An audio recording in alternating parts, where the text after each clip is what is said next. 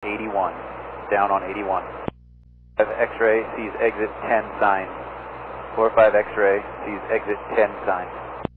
All right, there's somebody that's broadcasting on Tri-Cities approach control frequency. I think you're talking to November 45 X-ray. If you could, let me know what your call sign is and relay that information, please.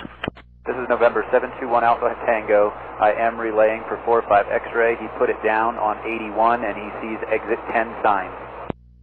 Uh, November 721 Alpha Tango, Roger. You said he uh, sees uh, exit the exit 10 sign on I-81. He is down on the ground safely. That's affirmative for 721 Alpha Tango. That is the broadcast from 45 X-ray. Number 721 Alpha Tango, thank you very much. If you don't mind, stay with me for just a moment um, and uh, let him know that we are getting some people on the phone uh, and just anything that he might need to, if you could relay that to us, we'd appreciate it. Roger that.